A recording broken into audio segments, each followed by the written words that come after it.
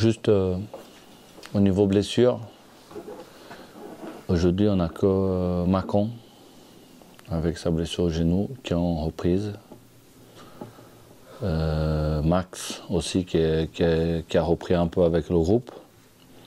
Qui à partir de lundi il sera complètement à 100% avec nous. Sinon il y a Loïc qui est suspendu encore. Sinon les autres sont tous aptes. Coach, euh, après euh, ce petit voyage en Bretagne en début de semaine, on a vu que l'équipe était fatiguée à la fin du match. Comment s'est passée la, reprise? Est-ce qu'elle s'est bien remise de ce combat à Concarneau? Oui, les, efforts, ils sont là. Les, efforts, ils savent qu'il faut les faire. il n'y aura pas de match facile d'ici à la fin. Euh, donc, il faut se battre. Il faut se battre. après la reprise, tout s'est bien passé. On a, bien travaillé, on a géré les, efforts, l'intensité des, des, entraînements, mais on a bossé quand même, que ce soit sur le terrain, que ce soit en salle, en vidéo, euh, pour récupérer euh, le maxi euh, des joueurs pour, pour demain.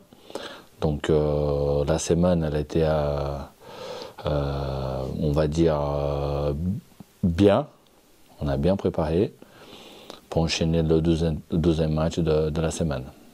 En début de saison, enfin au mois de janvier, là, quand vous avez enchaîné plusieurs matchs, vous disiez que c'était plutôt bon d'enchaîner comme ça ou rester sur cette position, notamment avec ces matchs serrés là, du lundi au vendredi? Aujourd'hui, le, point positif, c'est euh, le retour de, tout le monde. Donc j'ai un effectif complet où je peux faire mes choix, où je peux analyser euh, les joueurs comme je peux euh, par rapport à euh, leurs états. Donc aujourd'hui, j'ai le choix. Donc ça, c'est le point positif d'avoir un, effectif qui n'a pas de qui n'a pas de blessés. Ça veut dire que ça va tourner probablement Ça peut, ça peut tourner, ça, peut être la même équipe. j'ai encore, j'ai encore 24 heures, un peu plus de, 24 heures avant le match. Donc il y a pas mal de choses qui peuvent se passer, qui peuvent se passer. Et maintenant, il faut, il faut prendre la. On va jamais savoir si c'est la bonne décision, mais il faut. C'est un match assez compliqué, c'est un, match difficile, même si c'est le, dernier de, championnat. Mais euh, j'ai regardé les derniers matchs. Malheureusement, ils ont pris deux buts euh, au temps de les arrêts de jeu euh, contre Villefranche, contre Avranches. Donc euh, ça va être pas facile, ça va être pas facile. Donc euh, il faut rester concentré, il faut rester dans la même dynamique pour pas tomber dans un piège.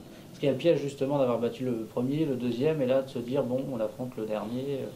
A priori, euh, c'est plus à notre portée, mais en fait. Hum, je pense, je pense que ça, ça peut être un piège. Ça peut être un piège, mais les joueurs ils sont conscients ils savent qu'on a, a, beaucoup de respect pour cette équipe. Surtout le, match aller, c'était pas facile. On a joué 11 contre 10.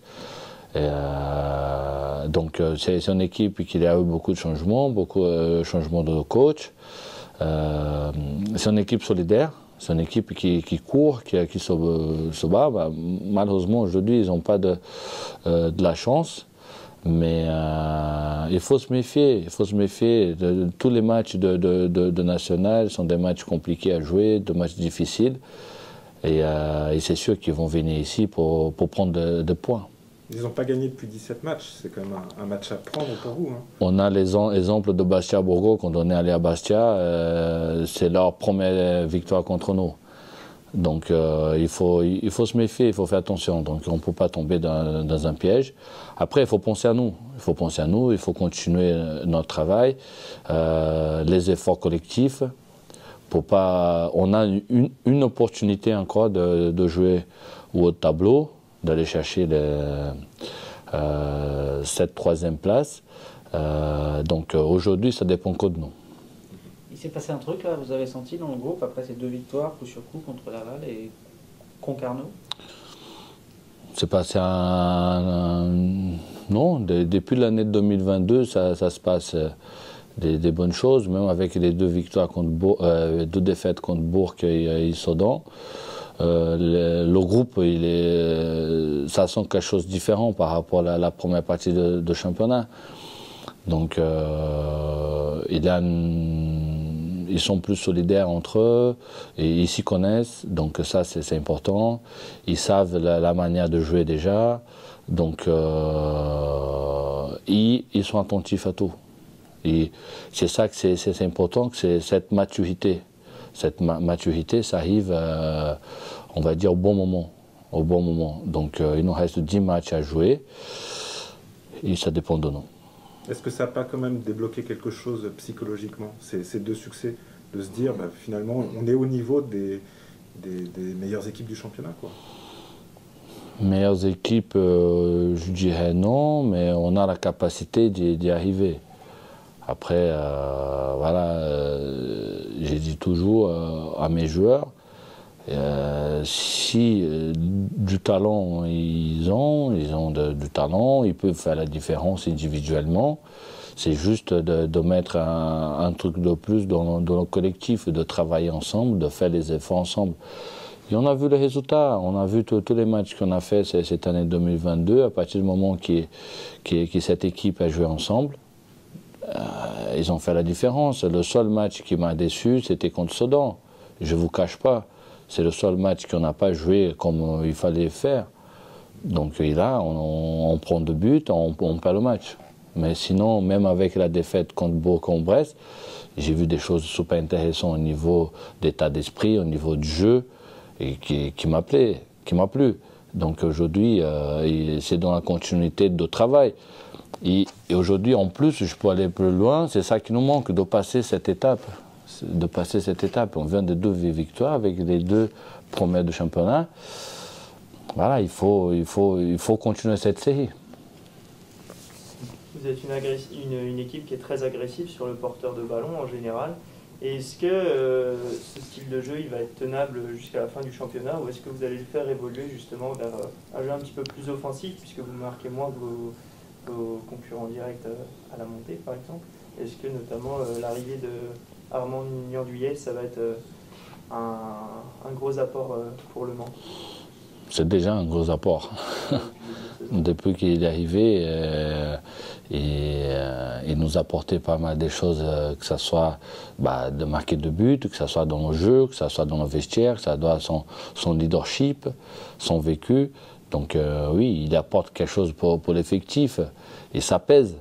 Quand on voit un joueur de sa taille, un joueur qui, qui, qui a 30 ans, ça, ça pèse. Donc euh, ça, donne, ça donne la confiance aux autres aussi de jouer autour de lui. Euh, après, au niveau de l'agressivité, euh, oui, aujourd'hui, aujourd'hui, c'est pas que le talent. Aujourd'hui, tu ne peux pas gagner que avec le talent.